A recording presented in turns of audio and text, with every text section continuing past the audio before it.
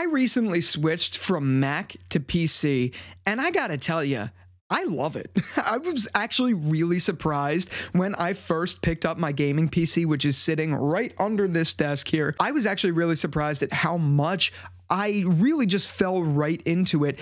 And I saw a meme recently on Twitter about when an Xbox or a PlayStation player switches to PC, and it's just an immediate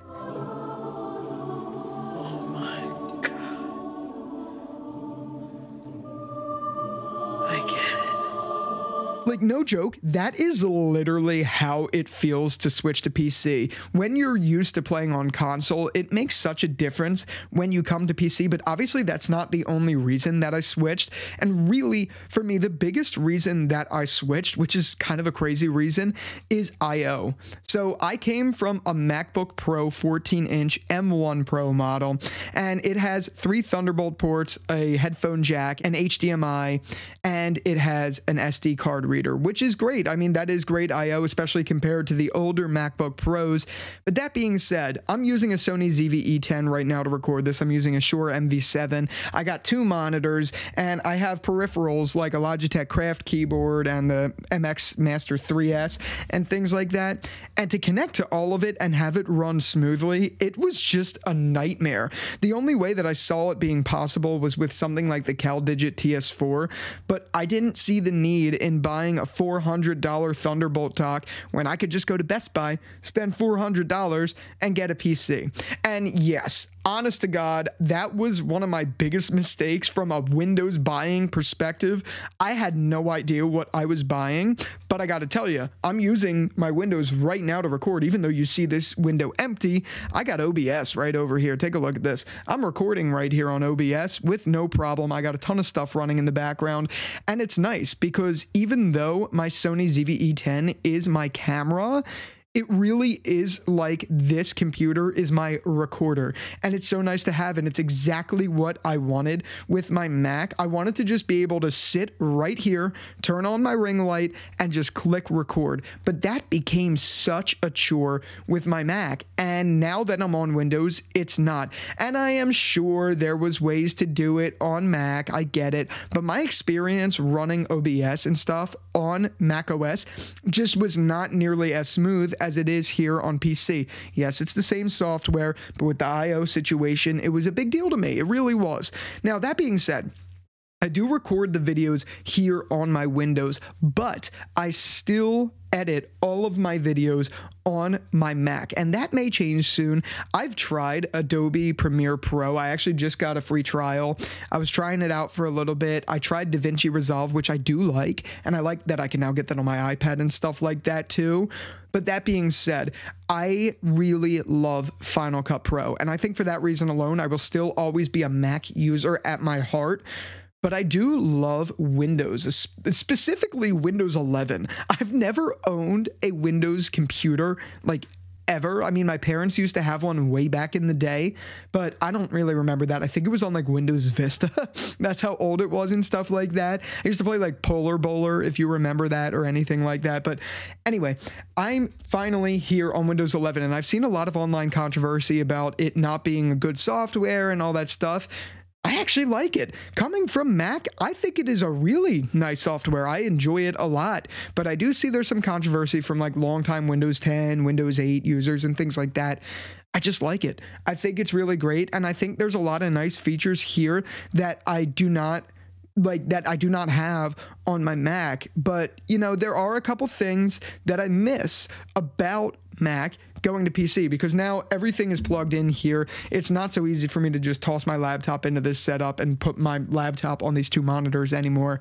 So, the one thing that I really do miss from Mac OS having switched is gestures. So, I actually do. I have right here, I have the Magic key, uh, the Magic trackpad, but you have to have it like manually plugged in to the PC if you want to use it. And if you don't, you can't use it wirelessly for some stupid reason. Like this thing only works with Mac.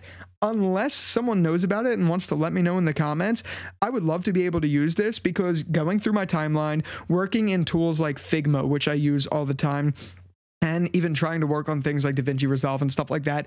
I just want to pinch to zoom. I want to scrub and all that stuff on gestures, and I can't do that on Windows. It's actually one of the biggest turn turning off points for me about Windows is that I can't really do that so easily unless this is plugged in. And given the distance with this Fezibo standing desk, it makes it pretty difficult to do that. So I wish we could find something to replace that, or at least you know be able to use that but that is certainly the biggest thing. And even with this MX Master 3S, I noticed things like scrubbing on the actual side wheel or using the pan feature and stuff like that is not even close to as smooth of an experience. And where this becomes really, really important to me is Figma, or when I, I use Sketch on my Mac, which is for a design tool.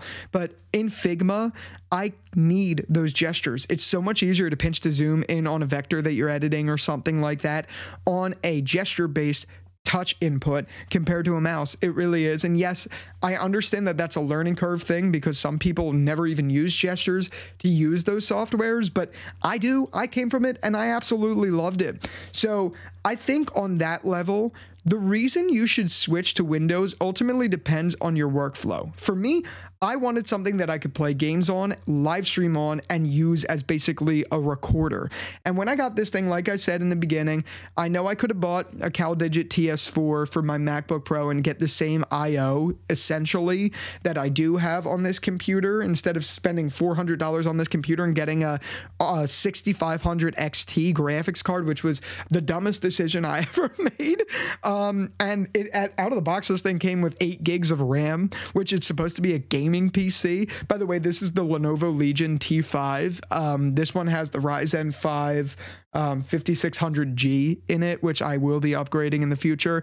I already updated the graphics card to the RTX 3050, and I wanted the 3060 Ti, but I really wanted something that would at least be able to run. I'm not like a pro gamer, so I was like, you know what? I could save a couple bucks just going to the 3050, and it's really all I need. And honestly, it is all I need.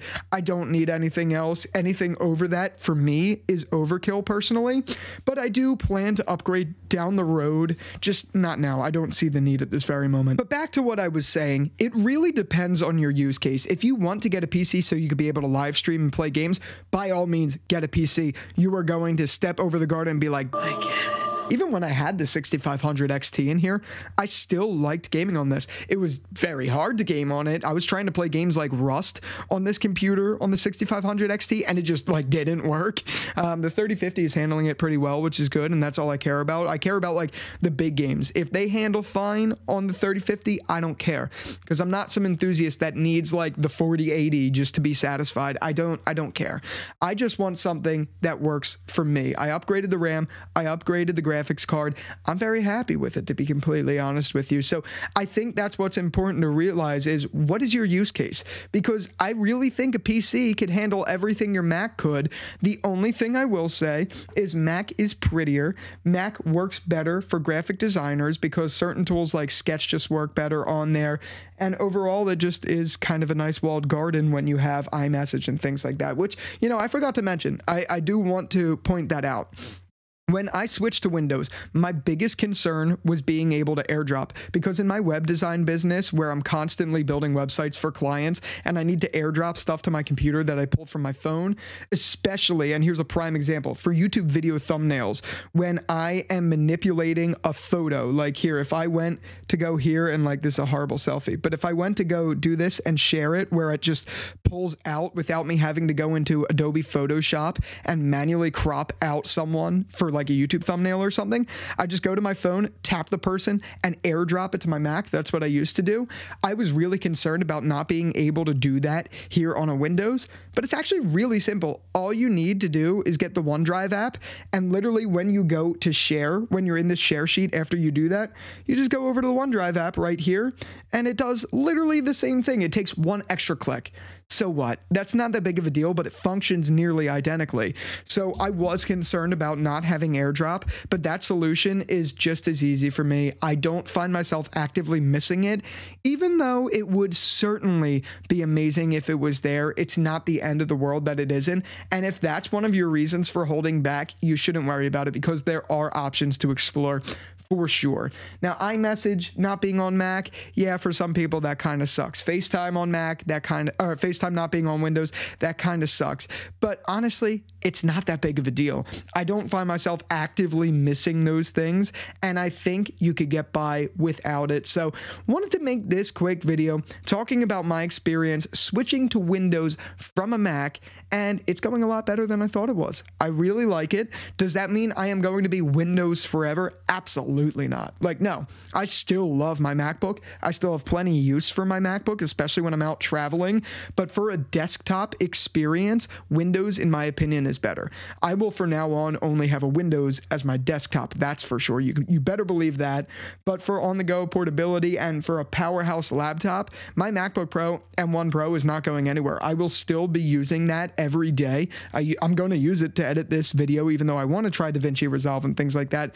I just love Final Cut Pro. My um, my packages and things like that for um, plugins and stuff like that for Final Cut Pro all are built in there already. It's going to be hard for me to leave it. That being said, I do see a future where I use this more for video editing and things like that. And you absolutely can if you're used to tools like Premiere Pro and things like that. I'm just not. I love Final Cut. It's going to be hard to make the switch because I just I think it's a great software. Anyway, wanted to make this quick video. Hopefully this helped you in some way, shape, or form get an idea of whether you should switch from Mac to Windows or Windows to Mac. Um, they're honestly very similar operating systems other than the walled garden that Apple has and a couple little things. But for the most part, it's not as hard of a switch and I really do like it. So with that out of the way, thank you so much for watching this video. Let me know your thoughts as well is if you recently uh, made a switch as well. I would love to hear your input. So make sure we comment down below. Let's stay healthy down there and all of that stuff. But with that out of the way, thank you so much for watching this video. And until the next one, I'll talk to you later. Peace out.